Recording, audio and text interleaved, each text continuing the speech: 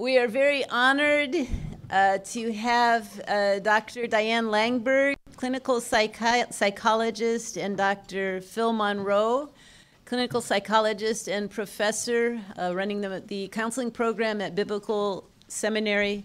We are so honored that they have voluntarily served as the co chairs of uh, the Trauma Healing Advisory Council. Many of the council members are here, in addition to Phil and Diane. But they've just really helped to uh, guide us so that we um, are basing this work not only on good exegesis of the Bible, but solid mental health practices. Every year, uh, they have contributed and spoken at our COP. These speeches are on our website, the Trauma Healing Institute, and, and you can view some of the ones from earlier years. But uh, we're now, please welcome Phil and Diane as they give us the keynote address.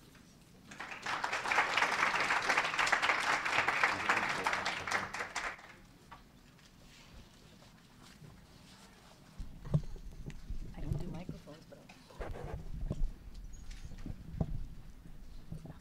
I think it's fine. Can you hear me? No. Is it that one? Ha, never mind. Good morning. And as always, it is a great honor to be here and get to know some of you as new faces and many of you as familiar and loved faces and hear about what God is doing not only in your lives but through your lives to others. We're going to talk this morning and some tomorrow about power. It is uh, something that is often abused in this world, as you know, and much of the trauma that you work with is the result of those abuses. And so I think it's very important for us to understand power, what it is, uh, how it's misused, and also what God says about it. So, power to begin, is simply the ability to do something or to influence. It can mean anything from the capacity to influence another, or it could mean things like to have leverage, or to dominate, or to coerce, or to master someone. Every single human being has power. By our sheer presence in the world, we have made an effect. We're taking up space we're here. The two month old infant who wakes in the middle of the night screaming has the power to raise very independent grown ups out of a sleep that they much desire and need. Now, those grown ups have power over the infant as well, don't they? And they can respond with attention and care, or they can respond with anger and abuse at being disturbed, or they can withhold power and neglect all responses affect and shape the child. Power is inherent in every human being and it can be used for good or evil, and it can be withheld also for good or evil. In Genesis, we read about how God invested humans with power from the beginning. He says, Let us make humans in our image, in our likeness, and let them rule. He told them to be fruitful and to rule and to subdue. Humans who are fruitful increase their power simply by creating more humans. Rule and subdue are pretty clearly power words. The Hebrew for rule means dominion or dominate. The word for subdue means to conquer or to subjugate or to keep under. It also can have very negative meanings like put in bondage or force or violate or tread underfoot. In that same verse, it says that God created image, uh, humans in his own image, in his likeness. Now, when you look in the mirror, what do you see? Hopefully, yourself. And if you don't, you might see a psychologist. The person you reflect that, that is reflected to you in the mirror has your nose and your hair and your smile. Power was given to humans who reflected God and who he is. And what do we know about him? He is good. He is faithful. He is a refuge. He is truth. He is love. And so humans were made reflecting those qualities of God. And power was given to humans who bore the character of God. And we are told God blessed them. He pronounced a benediction over them. We all know what happened after that. A seemingly beautiful creature who had utterly rejected the power of God or any likeness to him came and deceived the human beings, and this part's important, using God's own words. You want to be like God, he said? You can do that by choosing what he has denied you. And like the enemy, the humans then chose to use their power against God and took what appeared good for food and fed on it. They used their power to choose evil, power that ought to have been used to choose good. Power used by those who bore the character of God in the flesh became power used by those who bore a likeness to the enemy of God. That power is not then power to bless, it becomes power to harm. Not just others, but the self as well. So, we're going to look more closely at this thing we call power so we can better understand what kind of power we have and how it can be used for good or evil, for healing or for harm. Now, the issue of power and its accompanying deception seems to have been a frequent topic of discussion in recent years. We hear in the media about power and its abuse by individuals. We hear about it within families, in churches, and certainly within political circles and within governments. We hear about deception and how cover ups have been carried on for years by large institutions, organizations, and churches. These are critical topics for us to consider and understand if we work with trauma. And as most of you know, I am a Christian psychologist, and I have for 45 years had two specialty areas. One of those has been trauma of many kinds. I have worked with men and women who've been sexually abused as children and assaulted as adults. I've worked with domestic violence, clergy sexual abuse, sex trafficking, and victims of other things such as kidnapping, torture, genocide, and war. Running down a second track, I have spent many years working with those in Christian leadership pastors, missionaries, elders, professors, and heads of Christian organizations, those called to use their power to bless, but who instead have controlled the intellects, the hearts, and sometimes the sex lives of their sheep, using the sheep as food for themselves and their goals rather than feeding the sheep God called them to serve. And also, then, many who have covered up such abuses theoretically for the sake of God's work. In other words, others have withheld using their power for good out of fear and self protection.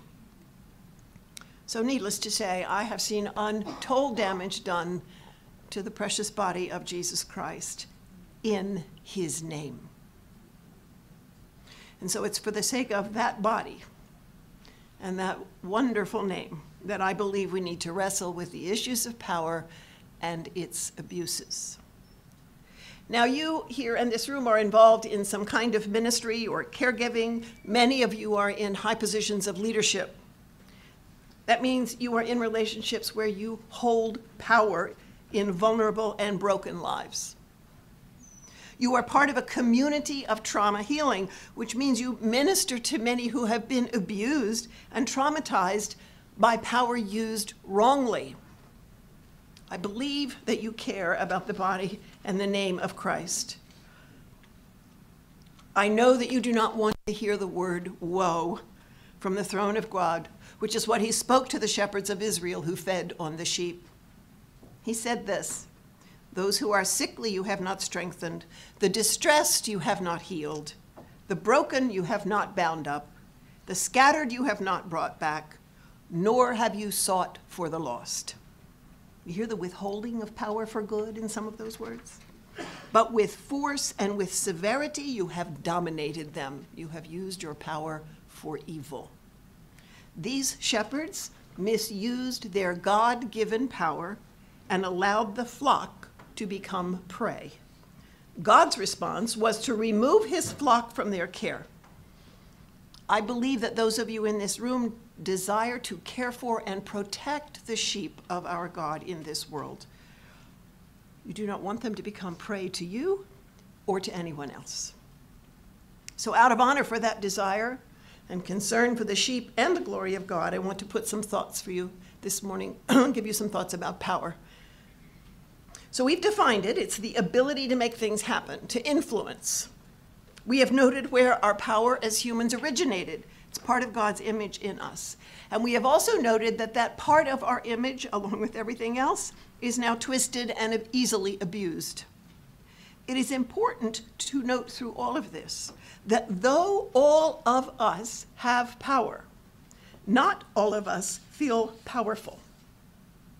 Many humans feel powerless, some in certain contexts, and some all the time. So many of you have lived or traveled in poverty stricken areas or spoken with, say, a sexual assault victim, and you have witnessed experiences of utter powerlessness.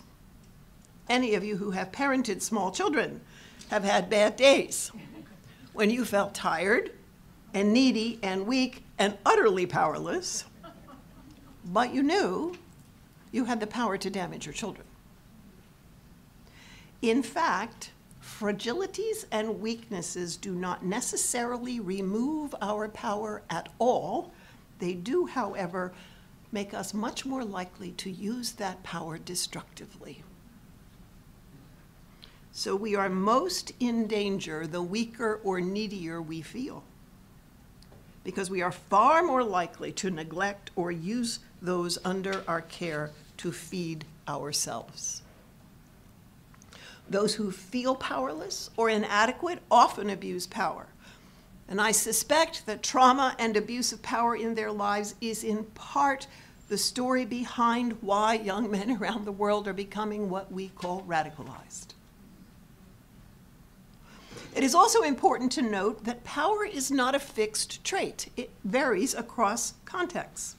So, for example, I have power with my two grown sons simply because I am their mother. However, they are 6'2 and 6'5. So they have the greater physical power. It shifts.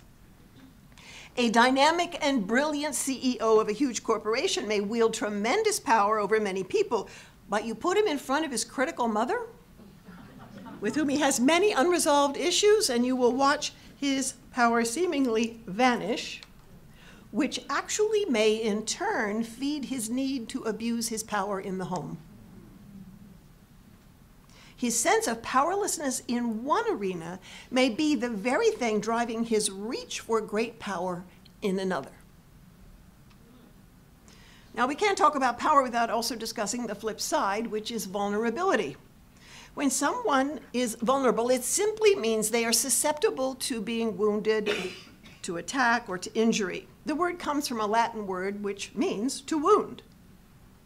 So, a woman in a room full of men is physically vulnerable.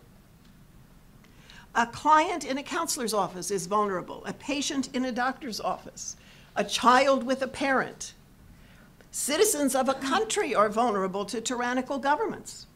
Whenever power is used in a way that wounds the vulnerable or exploits trust, we call that abuse.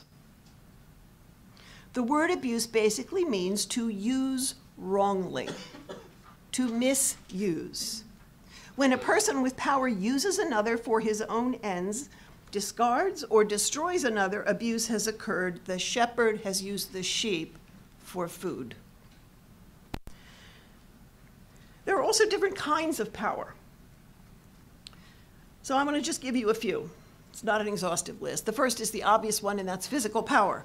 The bigger and the stronger have power over the smaller and the weaker. Usually, again, a male with a female, a parent with a child, a teen with a small child, but physical power can also be not just size, it can also be this sense of presence that someone has.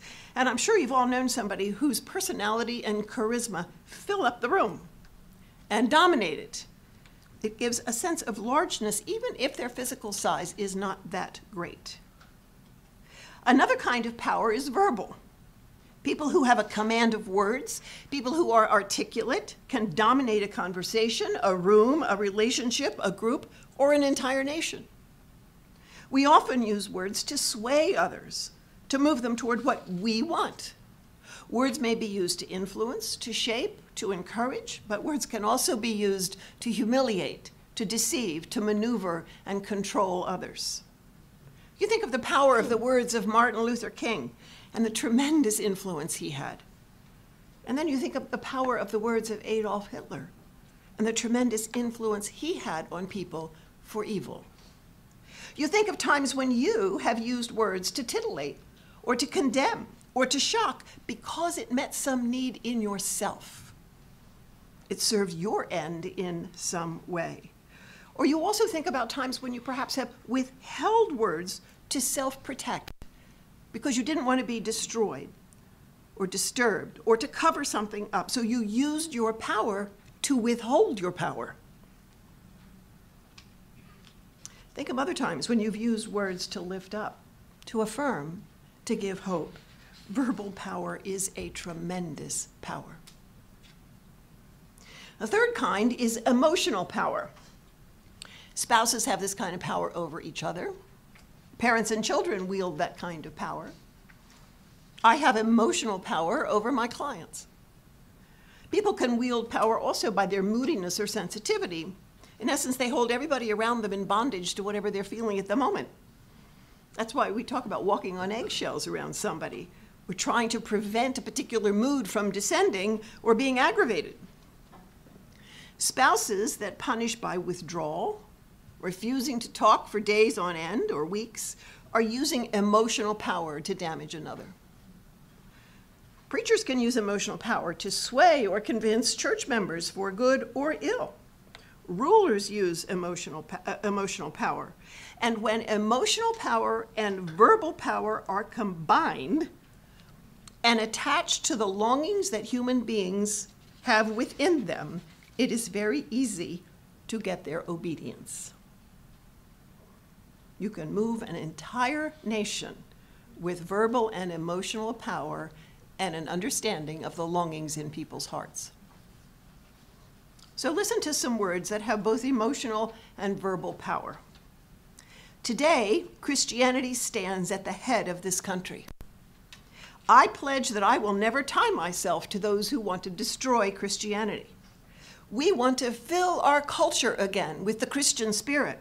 We want to burn out all the recent immoral development in literature and the arts and the press. We want to burn out the poison of immorality which has entered into our life and our culture. Now, you take those words at face value. I suspect they resonate with a lot of you. And here's what one listener said when he heard them This puts into words everything I have been longing for for years. It is the first time somebody gave form to what I want. And I suspect many today would say the same. The words are Adolf Hitler's. The listener was someone in the audience who made the comment to Goebbels. Goebbels was Hitler's minister of propaganda and clearly a very, very good one indeed. The words were spoken to German citizens beaten down by World War I, humiliated, longing for dignity, wanting food on the shelves and security. And emotional power and verbal power touched those longings. And humans heard what they longed for, and they immediately trust that the words are backed by a character of integrity. The German people and the German church followed those words stated with great emotional power, directly into great evil and off a cliff that still affects generations with trauma. Human power is a formidable thing. Knowledge, intellect, skill can also bring power. If I'm smarter, or if I know more, or if I have a certain skill, then I have more power in those arenas. There are those who have theological power over others. It is assumed that they know more about God and that they have the right to tell us what is true about God. So the power of a pastor in a theological realm is intensified by the fact that many see him as speaking for God, and indeed, in some cases, he may tell them he's doing exactly that. Some of us have what you might call psychological power, just a knowledge of others, uh, the way people work and think and react that others don't have. And it can include a, a knowledge about how to maneuver, manipulate, or shift people. Many of us experience this kind of imbalance of power regarding knowledge when we're ill. You know, you go to the physician, and it's, you know, he's there or she's here and you're here, right? In terms of power. Because not only do they tell you what's wrong, they also are going to tell you what to do about it. And you're the vulnerable party. There's also power of position. Position can be literal, like president or CEO or pastor or therapist or doctor or parent. But it can also extend to the power of reputation or status. Those who are labeled by others uh, as brilliant or godly or successful or who will make it all better for everybody are accorded power simply by virtue of their reputation. They can walk into a room, and because of that reputation, people give their words and actions a certain weight or power, and like Germany, they do it without waiting to see if there is integrity of character behind it. It is critical to note that very often multiple kinds of power are combined in one person. You think about it. Position combined with a large and or dynamic physical presence, verbal skill, knowledge, the capacity to sway people emotionally, you put all that together in one person, you have a phenomenal combination. So, for example, let's take a dynamic physical presence, an articulate voice, emotional sway, and theological knowledge, and roll it all together in the position of pastor, and stick that person in a room with a female who's usually less powerful physically, a parishioner who has less power in position, whose struggle or pain has rendered her somewhat inarticulate, and who is theologically uncertain and struggling, and you have a setup for the abuse of power. Words, knowledge, skill, position, and emotion can all be used in concert to move or convince another human being who is vulnerable. Or take a teacher or dorm parent in a boarding school, or an adult with knowledge who's in a powerful position. Put them in a room or a home with a child who's away from its parents. It's not hard to, hard to see how verbal, physical, and sexual abuse can occur in those places. Or you take the leader of a country who promises everybody freedom and food and jobs and dignity and all those things, and vulnerability, isolation, neediness, ignorance, emotional pain, and a lack of power make any individual in that country susceptible to being abused. Now, there's another kind of power I think that it's very critical for this audience to understand and that's the power of culture. Culture can be used, obviously, to refer to a country or a geographical region, an institution, or a family. And you and I live and imbibe culture on multiple levels all the time. And we often accept their trappings without assessment. I mean, it just is what is, right?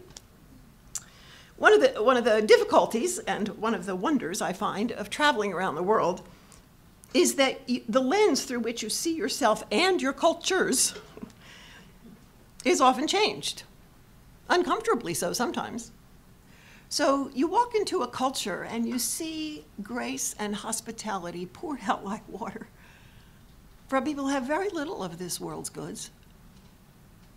Or you see and hear music and dance and art richly shared, and it gives you new eyes to see God's beauty expressed in very diverse ways. You've also had your heart broken, as I did when someone said to me, Diane, incest is simply part of our culture. Or a pastor who loves the same God you do, who heatedly tells you that it is right that a 14 year old girl who's been raped must marry her rapist so the family does not have shame to carry. The changed lens has led me to look much more carefully at the power of my culture in my life, both secular and religious. And I fear as human beings, we are easily seduced by the culture in which we have marinated. We breathe it in so easily, it becomes part of us without thinking. And as we imbibe our cultures and we breathe them in from birth until death, we are shaped by them. And because the culture is simply what we know or are familiar with, we can easily be blinded to it, oblivious to the toxins we ingest, but also the toxins that grow within us and around us and which we transmit to others. The power of culture is great and frequently unexamined. You think about it. Suppose you're a young black male in the United States living in an, in an inner city in the midst of great poverty. You have no idea who your father is. You have never known an adult male who was nurturing or who held down a regular job. You literally do not have a file in your mind for a man being those things. So, how can you aspire to them? How can you have any idea where the road might, what the road might really look like to achieve such things? The power of generational poverty and traumas and violence and abuse, as you know, control many, many people in this world. It's the only culture they know. I mean, how, how, do you know sexual abuse is an aberration? How do you know it's an evil if indeed it's simply part of the culture? How do you grasp that domestic violence is an abuse of power when you have never known a human being, a female human being, who was not beaten? And all the men and religious leaders in your life sanctify it with words from the scriptures. The power of culture is profound and increases exponentially when it is baptized with church or theological leaders. The teachings and rulings of a given culture can be a form of systemic abuse. Those of you who were here a, a couple years ago, I spoke on systemic abuse, and you may recall that the meaning of the word system in the Latin is together stand. So the culture, its traditions, its primary voices stand together and legitimize domestic violence or rape or incest. And often the church stands together with the culture, echoing that belief and supporting it with verses from the scriptures. That's tremendous power. Very difficult and very slow to change, as many of you have found. When speaking in Brazil many years ago, a pastor came up to me afterwards and he said this Diane, I moved my family to a small fishing village on the coast to start a church. All the men in my village are alcoholic, no exceptions. All the men in my village beat their wives, no exceptions all the men in my village have sex with their children, their daughters, no exceptions. Can you tell me, Diane, how to help my people? It was the culture they breathed from birth to death over generations, no exceptions. And in probing, I discovered he meant the judges, the lawyers, the police, the pastors, no exceptions. It was what men do. They didn't know what different looked like. In speaking with people from Romania, whose families endured both Stalin and Ceausescu, they say that their parents often still long for that era of oppression. Why? Because they have never learned how to think independently because it wasn't permitted, and they feel utterly overwhelmed by choices. And so they want life to be simple again and somebody just to tell them what to do. Their freedoms were burdensome to them. The power of culture is insidious. It simply is what is. It is the air you breathe, and it is hard to imagine otherwise. You cannot assess its presence or power, its goodness or evil, nor can you aspire to something else in any concrete fashion without somebody illuminating what just is and also illuminating another way. The damages of the abuses and the corruptions and the evils is great, and it comes down, as you know, generation after generation after generation, and there's no way to even name them, let alone fight them. If you live in it. You know, the scriptures talk about us living and moving and having our being in God, but in it we live and move and have our being in culture. It is the air we breathe, and there is little filter for the embedded toxins. And then finally, another kind of power I just want to touch on is the power of withholding. We've mentioned this. Again, we see this often in marriages, withholding words, affection, sex, money, whatever. And the withholding is for the purpose of controlling or coercing the other into doing what we want. Withholding power can be due to great fear also and complicity because the, uh, the choice of response is going to cause a big mess. So sometimes we withhold to coerce, other times we withhold out of fear because to speak truth will disturb. But when we stand together with abusive systems and keep silent about those abuses out of fear, we have become complicit with the abusive system. And the meaning of complicity is to be folded up with. So we have let ourselves be folded up with the abuse that's going on. So we withhold our power to speak, to name, or to validate victims, which essentially means our power is being used to support the abusive system rather than exercised on, half, on behalf of the victims. So if you heard the talk on systemic abuse, what we also learned is a dissident is someone who sits apart from those who stand together. God calls us to use our God given power to speak truth, not be silent, to care for the afflicted and needy. And when we do that, we take risks. But when we do that, we are following our Lord by using our power as benediction.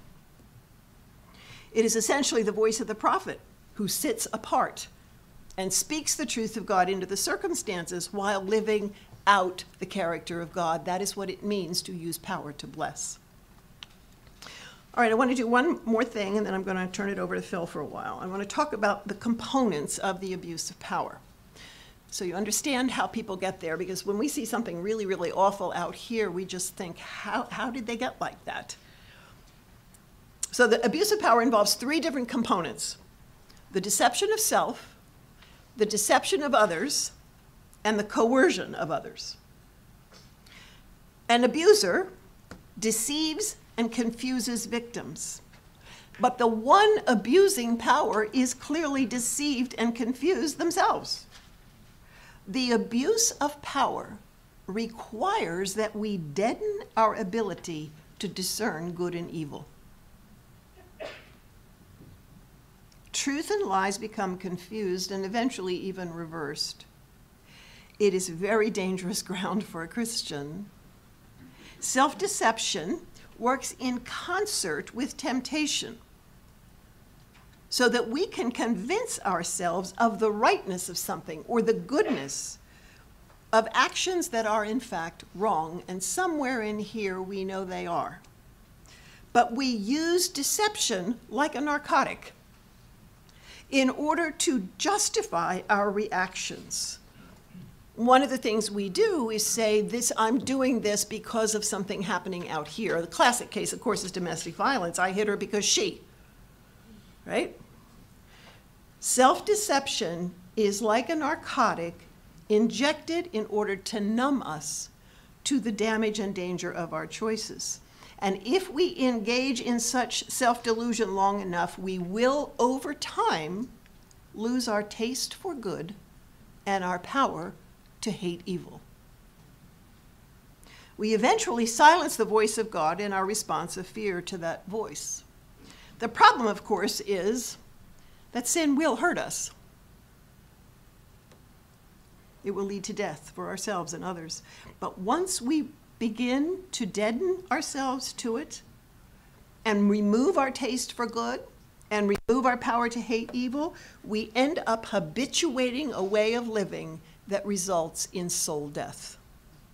Deception becomes a way of life, evil can be easily practiced by an increasingly dead soul that then becomes presumptuous planning and actively participating in evil. Once we have deceived ourselves, it's really not very hard to deceive others. We then take our power, our status, knowledge, whatever we have, to cover who we are and to present ourselves as being for others rather than as a user of others. A brilliant preacher cannot possibly be an abuser. A charismatic businessman who's generous with his money cannot possibly be hurting his children. An outstanding coach cannot possibly abuse boys. An articulate political leader who promises food and jobs and whatever else we're longing for cannot possibly mean turn out to be a tyrant. We allow ourselves to be deceived by the deceiver because we want what they seem to be giving or seem to promise. We are vulnerable. We are hungry. We are enthralled, and we have been given hope. And so we are led by one we assume who is good, who is in fact a prowling wolf who will either oppress us or devour us. The third component is coercion, which is about restraining or silencing someone or keeping them from acting by using force. The word coerce means to surround, so there's no out. The force used can be physical, obviously, it can be verbal, it can be emotional. We can coerce people by surrounding them with words. That's what that quote with, from Adolf Hitler did. Or the threat of dire consequences. You know, a father to a child he's abusing can force, he can force the child into silence because if you tell, I'll have to go to jail. Coercion is some for, form of force used to make another do something, used to take something from them that is not not yours. Physical force is obviously the most uh, common force of, of coercion, whether it, you know, you're using a fist or a weapon or brute power or an entire military. But oppression is a more subtle form of coercion. To oppress is to put impossible burdens on people, severely weigh them down. It can be carried out through unreasonable laws. It can be carried out by withholding what should be rightfully given. You can coerce through emotional avenues. Anger is often used, rage is the power tool used to frighten others into obedience. Fear can be used by frightening victims into obedience. So, for example, in the Rwandan genocide, if you don't kill your neighbor, we will kill you or by showing fear about the ruin that will occur if the truth is told. You know, if you tell about what I just did, my whole ministry is going to be destroyed. Please withhold your power to speak. That's what that message is. You can coerce through psychological means, such as a threat of exposure or isolation or alienation. A child is easily coerced or oppressed into silence regarding abuse. Told that if he exposes the truth, his mother will no longer love him, or somebody will go to jail, or he'll have to be taken away from the home, which in fact might be true. A woman can be coerced into silence by her pastor, who simply says, No one will believe you. They'll believe me, which is in fact probably true.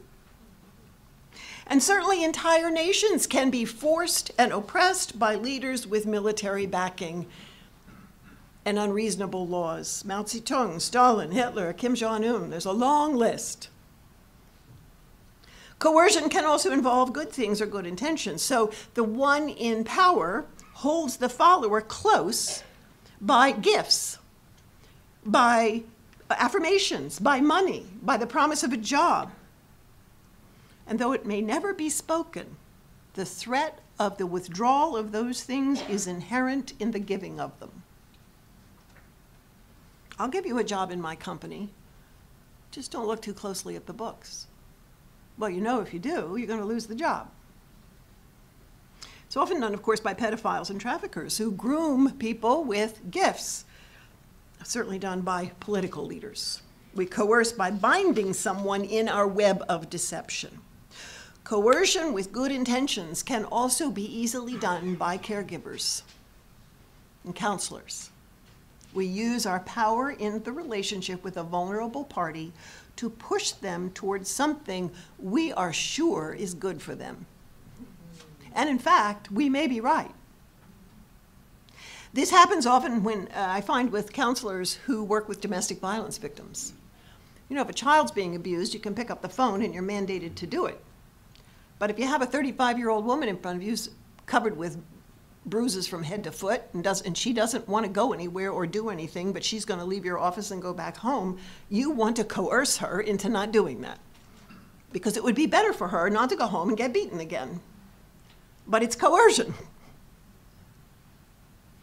so sometimes our own fears or our desires to care for other people or want them to be safe can lead us to push and prod and use our position and our skills in overbearing ways and even controlling ways with the goal of helping them to safety. The victim is yet again being coerced, being overcome by another, and has little to no voice, which is exactly what the perpetrator is doing. The work that many of you do has given you a front row seat to many of the ways in which power is abused. You have witnessed the crushing of human beings created in the image of God. They've been crushed by political systems, by religious systems, by culture, by traditions, by families, individual predators, and a very wrong use of the word of our God. Phil's going to come and walk us through some exercises with this, and then I'll come back and tell you what you're supposed to do with power. Here. Oh, thank you. One of the beauties of the trauma healing materials is that we don't like to just talk at you, but we want adults, especially adult learners, to be actively engaged with the topic. Um, and so just standing up here and giving you lots of good information is not really enough. Uh, so this is the interactive part. I'm going to give you some things to be thinking about, and you're going to have a, a few moments of silence to do some things, and then we're going to ask you to do some sharing at your tables. In this little segment, we won't have any large group, but in the second one and the final one, uh, we will do that and have some thoughts to sharing with the whole group.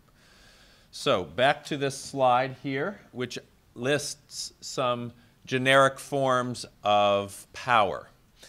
I'd like you to actually, uh, if you have your pad of paper in front of you, I want to give you one minute, and uh, you can do this at home if you're watching online as well. One minute to list um, have, and these are the, you could actually imagine writing on the left and the right hand sides of this if you, you don't have this, but you can write have. What kinds of power do I have?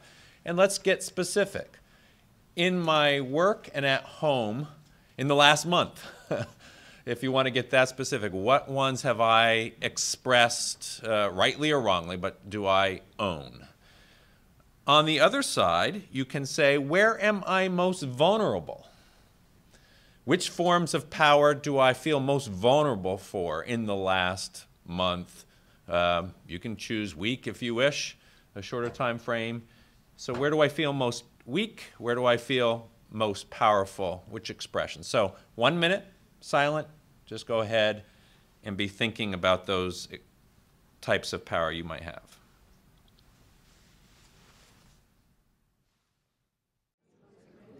Okay, we're going to have Diane uh, come back and talk some more, but I first want just a show of hands. Um, which was easier to come up with a list, the good or the bad? So show me the good. Show me the bad. Which was easier to come up with? Yeah, we, we have lots of examples of the bad. More hands for the bad list is easier than the good list. Um, part of our job is to look for the good and highlight it because usually they're very hidden. They're not very obvious, right?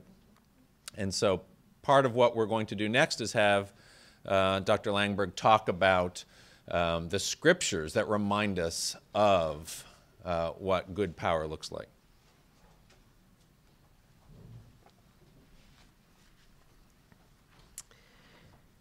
All right, I want to give you two scriptures that will uh, guide our understanding of a scriptural use of power. And the first one is from Matthew 28, a very familiar scripture, where Jesus said, All authority, all power is given to me. Therefore, go. And in John 20, Jesus showed his hands and his side, and then he said, As the Father has sent me, so send I you. Now, Jesus holds all authority, he says, all power. That means any little bit that you and I have is derivative. It's not ours. We are dispatched under and with his authority. He does not give authority to us, he retains it. It's his. He sends us out under his authority to carry out his enterprises in his way. Every drop of power that you and I hold is given to us by the one who holds it all eternally. It's not ours, it's his. He has shared what is rightfully his with us. So, are you verbally powerful? The Word gave that power to you. Are you physically powerful? The mighty God who breaks down strongholds and sustains the universe gave that power to you. Do you have the power of position? Then the King of Kings and Lord of Lords gave that power to you. Do you have the power of knowledge? The Creator God, whose ways are past finding out, gave that power to you. Do you have emotional power with others? Then the Comforter, the wonderful counselor, gave that power to you. Any power that you and I hold is God's and has been given to us to be used by Him. It has been given for the sole purpose of glorifying Him. It has no other purpose. Second, if all power is derivative, then we will hold that power with great humility. We are creatures, no more and no less. We follow the one who became flesh. He who holds all power said things like this when he was here with us The Son can do nothing of himself. I am come not to do my own will. I seek not my own glory. The state of heart manifested by the Son of the Father should abound in those of us who say we follow him. We tout our teachings and our writings and our organizations and our reputations. He did nothing of the sort. We seek a share of the glory and the power for ourselves. He humbled himself before not just God, but also man, and became a servant. We seek to build our little kingdoms. He came to build the Father's. God gives us power as creatures, and it is to be held in trust. And if we understand the nature of power, its source, and its dangers, then we will walk humbly before others. For our Master has said that if we would be chief, if we would lead and impact others, if we would have power, then we must serve. Before telling the disciples he was sending them out, Jesus said this See my hands and my side. Those are the marks of his great humility. Those are the visible evidence to us that he came to serve, not to be served. Those marks are the insignia of God's authority. Those who follow him, endowed with his power, are called to serve by way of the cross. There is no other way to serve God and bring glory to him. Third, I think we often make the mistake as humans of seeing power as an external thing. But power is not about having rule over a spouse or a church or a parishioner or an institution or company or country. It is not external, it is internal. God's kingdom is ever and always the kingdom of the heart. It is not our churches and our institutions and our schools and our ideas. He is building his kingdom, not ours, and he does that by having authority over human hearts to the point that they live lives full of the Spirit of God. That is godly power. And when we are full of God's power internally, we bring light and life and grace and truth and love into all the external enterprises we're involved in, whether they are great or tiny. And God's kingdom will grow and he will be glorified. Any cause or work that we do, no matter how good it is, that leads us to sin in order for that work to prosper has become an ungodly force in our lives. Any power God has given to us is to be used in conformity to his word and his character. So then, how will we serve? Well, we have said that all power is derivative and it's to be held with humility. To what end is this done? Power is to be humbly held in order to love God and then to love others. Its sole purpose is for the glory of God and the good of others. Anytime we use power to damage or harm or use someone in a way that dishonors God, we have failed in our handling of the gift of power that we have been given. Anytime we use power to simply feed ourselves or elevate ourselves, we have failed in the gift of power that we have been given. The use of power is always to be governed by the Word of God and the Spirit of God, and any power that is not subject to both of those things is used wrongly. Any use of power based on self deception or on some way we've told ourselves that what God calls evil is actually good in the moment is a wrong use of power.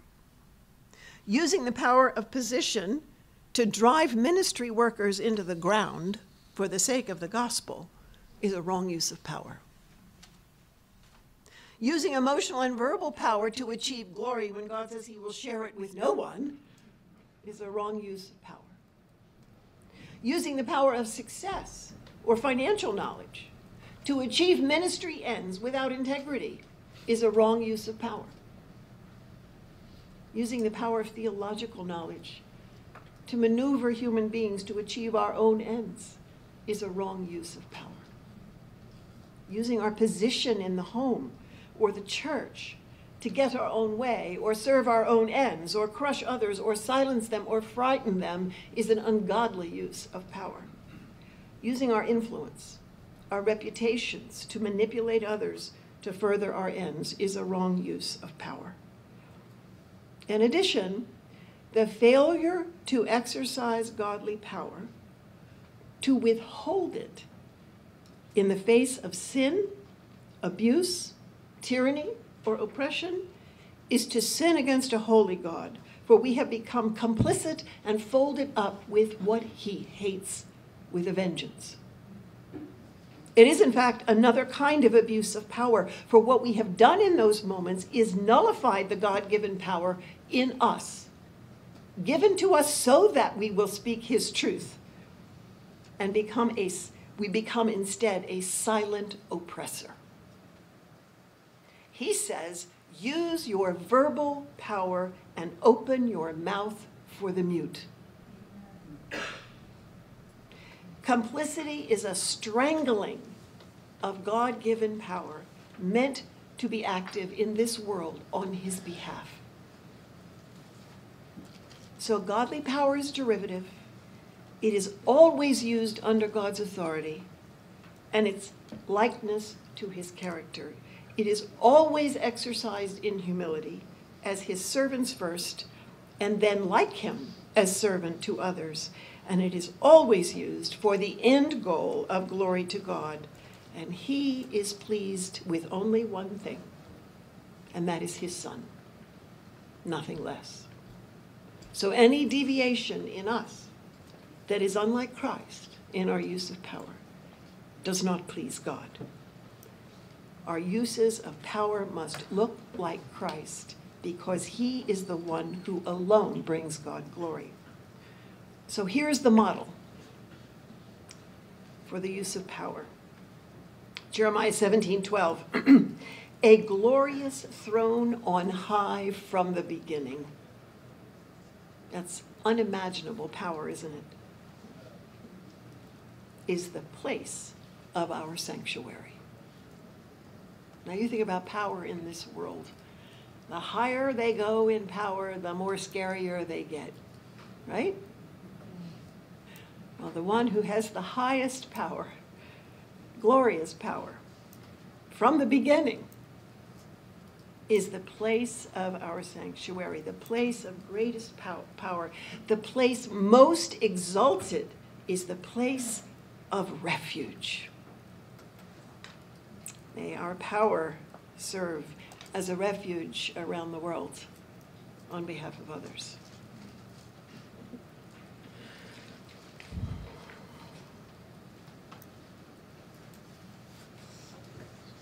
Okay, now here's where it gets real.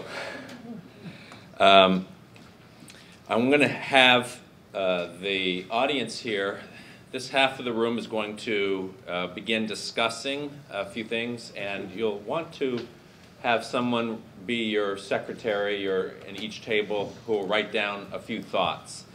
And on this half, I'm going to give you a different question. So, on this half, I actually want you to consider what are some of those wrong uses of power that hold a lot of merit and value in our culture? And of course, our culture is dependent on where you live, who you're around at your tables as well. So you can take that as widely as you want. These are the deceptions that actually get portrayed as good uses. Let's list some of those characteristics. Um, if you need an example in your mind in order to think through this, think of an organization or a leader who is caring for vulnerable people, and maybe there's been some rumblings of criticism and complaint about how um, the ministry is going. What might be some responses that the system or the leader might uh, uh, do that on the surface look really good? But when we begin to examine it, as uh, Dr. Langberg has asked us to do so, we start to see something that looks maybe not quite so good.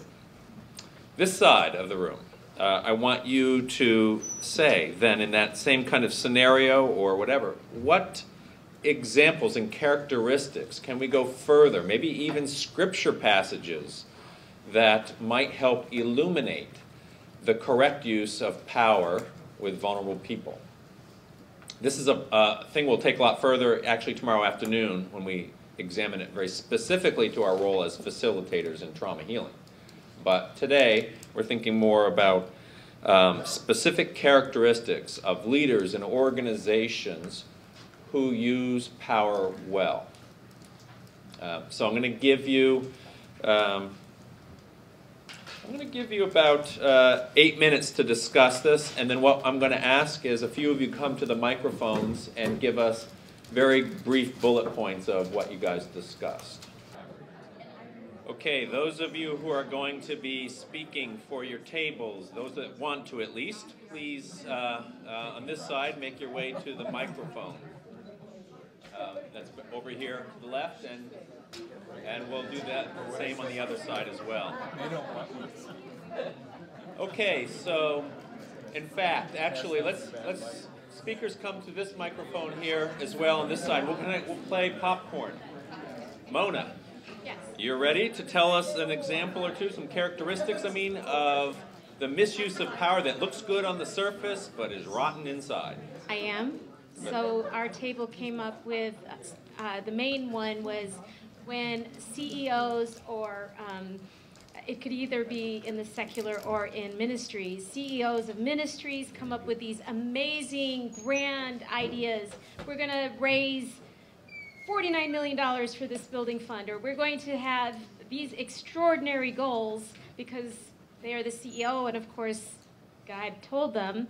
And what happens is that the goal becomes the primary use of you know everyone's day and they and a lot of the people have to sin for example not rest um, you know maybe skew a few numbers here or there so that you can look like you've met the goal the ceo goals. Right. and um, so i'm sure in your own ministries you can think of that but my favorite is eight is great. You guys know that. Wells fargo ceo Careful, we're in the Wells Fargo building. Yeah. Oh. yes. Well, you know, but the Wells Fargo CEO said, yeah, said that you know, um, made said that every every person should have eight accounts. So there, uh, there, there, people had to force people to get new accounts, but. Thank you. Thank you, Mona. Okay, well, we'll popcorn. So good use. Uh, I'm Anna. I'm representing a table that came up with three characters or three beings in the Bible that um, that use of power.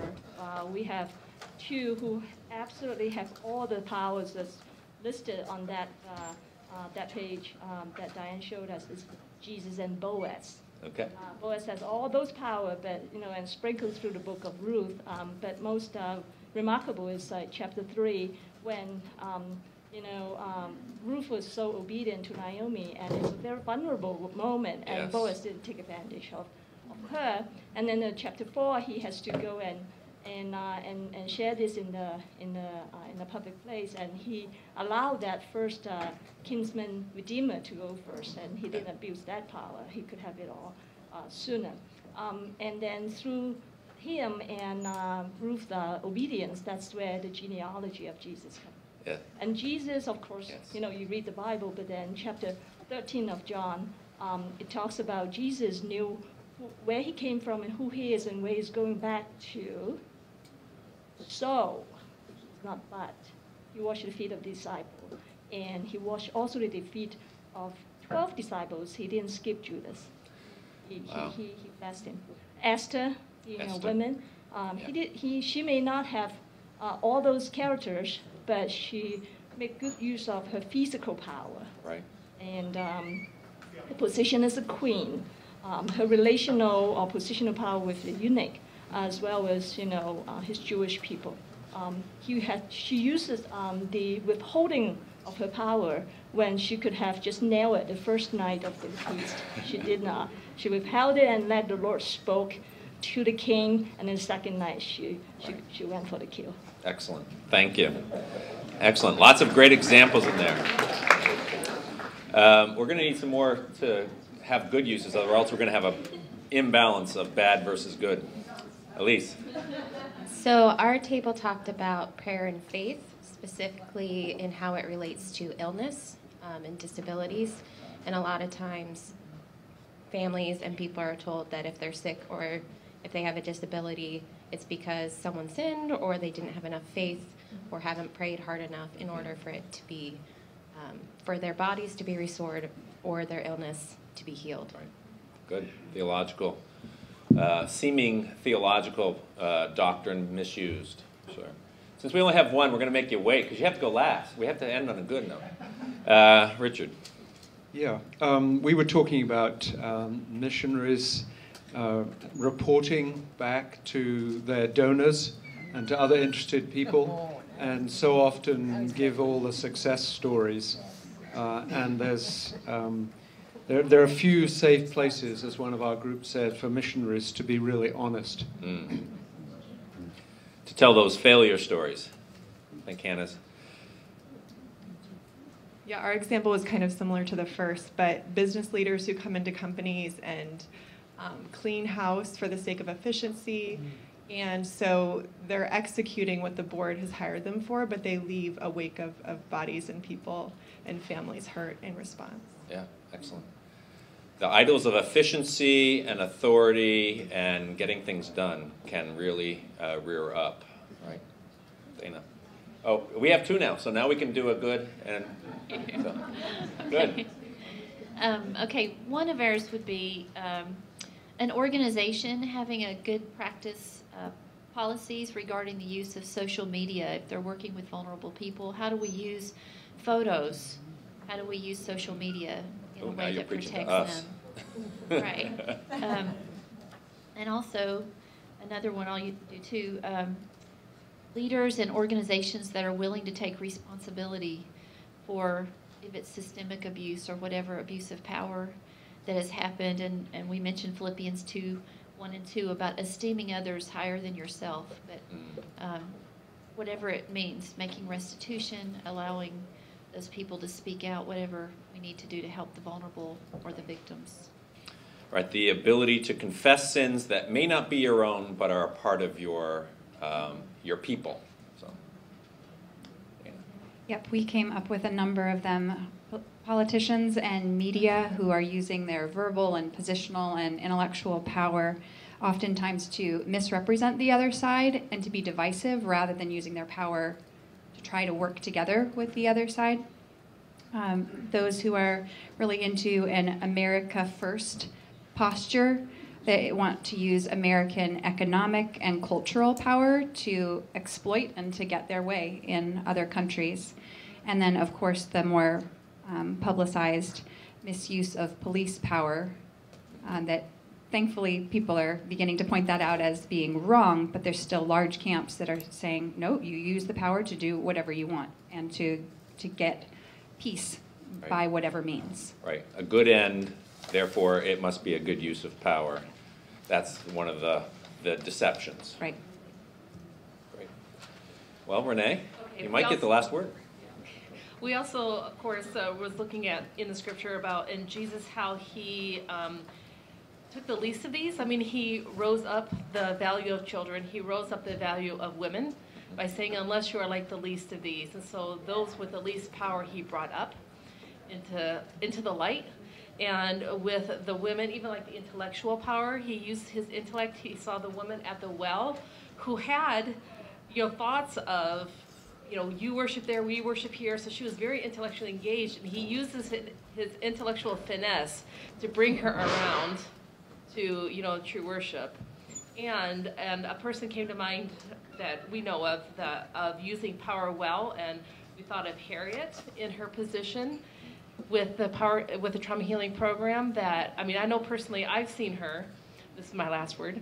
Um, seen her working with two different Bible societies and empowering them, not telling them, not dictating how they need to do it, but saying, how would you do it, and giving them permission to develop it their way. And I think that's we were in agreement that that is true. Kudos to So, uh, Harriet. It's a good model for us to see using power to bless and empower them. So. Very good, thank you.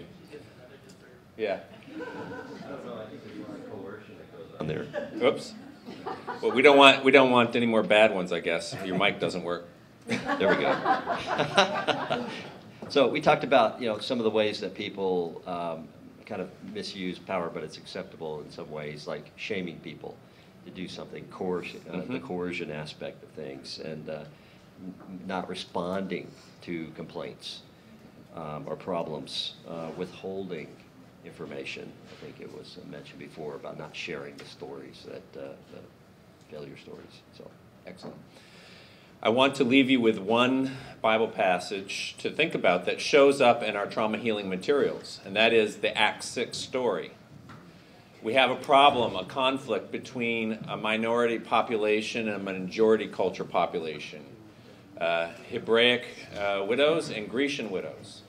How do those leaders who are hearing the conflict respond? What is their use of power? Notice um, that they pay attention to what is most important that God has called them to do, which is the prayer and reading and preaching of the word. And they empower um, the people to solve the problem rather than say, we'll go and study it and we'll get back to you whether or not there's a real problem. They actually give power, and if you look at the list of the names, actually the minority population seems to be quite empowered to ensure that their widows are getting the proper amount of food in the distribution. So think about other Bible stories as we go throughout the week, uh, and we're talking about power that reveal to you this image of Christ's use of power in a derivative form that gives him honor. Right? And now Harriet gets the power of the lectern. Thank you.